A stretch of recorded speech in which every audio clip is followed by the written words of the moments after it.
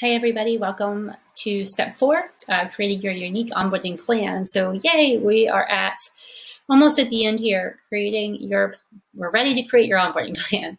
So, um, just a couple quick things here. This There's not much to this section.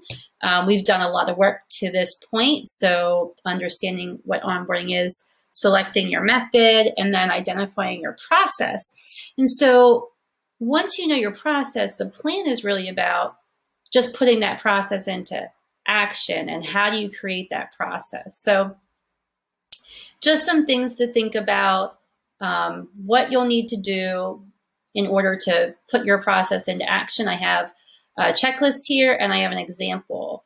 Um, I'm going to go over the checklist first and then I'll go over the example. So um, the checklist for your onboarding plan um, just getting clear again on the method and the process for your plan. Who are you onboarding? What's the best method for these specific people? Um, how will you be implementing the plan? Um, oh, giving yourself attention, give your attention to feedback from potential members to decide um, what you need to do in order to create your onboarding plan. Um, asking who you can, asking who you have for support for you, and when um, do you want to have all the members onboarded, as well as being excited about the onboarding experience for yourself and for them. Like, how can we make this fun and exciting, interactive, and all that good stuff? Um, learning about the necessary steps or tools. If you're wanting to do an email sequencing, like you'll need to learn about that. Um, or if you're doing videos, maybe you need to learn a little bit about YouTube, or if you're learning if you're wanting to put together a presentation, maybe you need to learn a little bit about Canva so that you can have a um, an on a orientation packet. Um, so those are just some examples of different uh, things that you might have to learn in the process of your onboarding plan. And then um, when are you going to set a date to um, create your onboarding plan? And um, when will you review your onboarding process, asking members for feedback about the process, as well as maybe recognizing when you need to change the onboarding process. Um, and then who could you ask for support for accountability uh, on your progress so that you can benchmark it each way.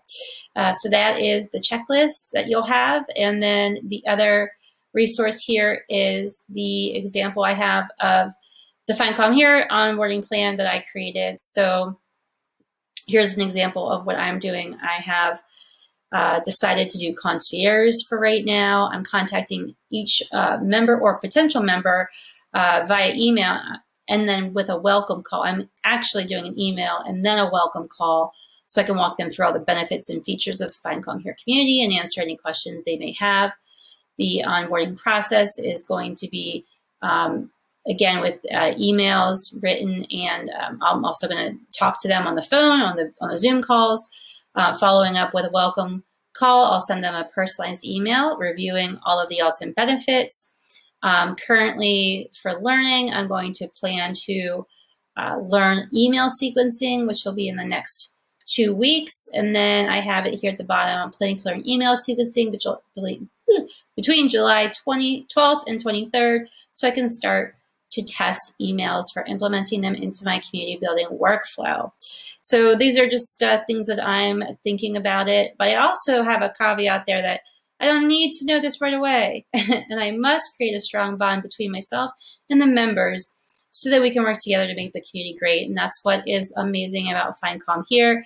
Uh, everyone in this community has been so super helpful to myself that um, I'm excited I actually am excited every time I get to talk with members of Find Calm here.